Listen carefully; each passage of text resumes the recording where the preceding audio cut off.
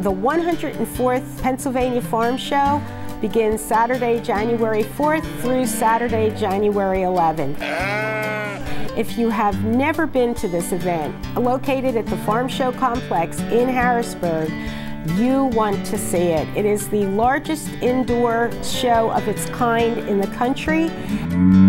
And on Friday, January 10th, as I have in the past six years, I plan on being in the milking contest. And as I did last year, I hope to come home with a blue ribbon for placing first in the competition. The farm show includes great exhibits and phenomenal food. I look forward to seeing you at the PA Farm Show.